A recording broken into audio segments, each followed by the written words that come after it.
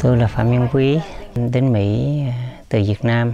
À, trước khi chiến tranh thì à, tôi à, làm việc à, cho tư nhân, cho một cái một cái đại lý xe. Khi chiến tranh mà chấm dứt vào thời kỳ năm 75 mọi sự như dường như là ông trời bị sập đổ. Tất cả đều mất mát và sợ sống trong sợ sệt và lo lắng. Khi đó thì không phải riêng tôi tất cả mọi người đều muốn rời Việt Nam. Vì uh, thứ nhất là tìm đến một cái xứ nó có tự do mà sống không có cái sự hồi hộp phải lo lắng.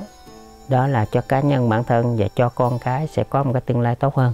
À, khi đi tới US thì à, tôi sẽ, ở ngoài đi à, escape bằng à, một chiếc tàu đánh cá ăn hai thứ tám.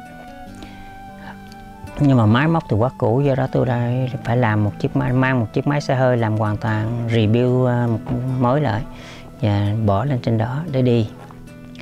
Thì khi tàu đi thì chúng tôi cho kiểm tra lại nước uống và thức ăn.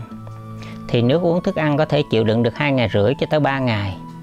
Nhưng mà Bị số đó chỉ chuẩn bị cho có 35 người nhưng bây giờ tới 73 người. Một người, một đầu người tôi một ngày chỉ được một phần tư khắp nước.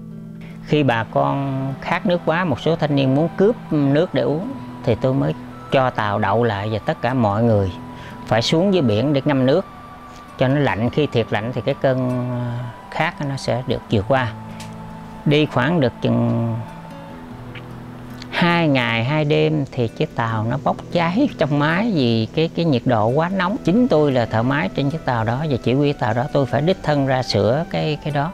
Nghĩa là tất cả những dây điện rồi này kia, cái nọ thì phải dùng dây xé quần áo làm dây giải buộc chằng chịt vì không thể chạm nhau được vì gì nó tất cả không còn ở du lịch.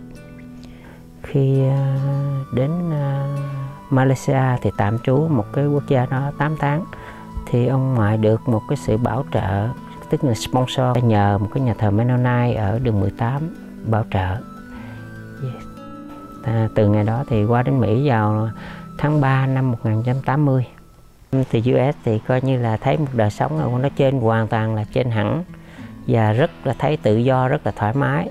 Nhưng mà cái ngôn ngữ thì giữa Việt Nam và Mỹ thì rất là khó khăn. Thành ra ông ngoại phải đi học tiếng Anh mất 3 tháng full time và sau đó ông ngoại kiếm được job đi làm ở một cái xưởng sửa xe của một cái cái dealer là Volkswagen dealer.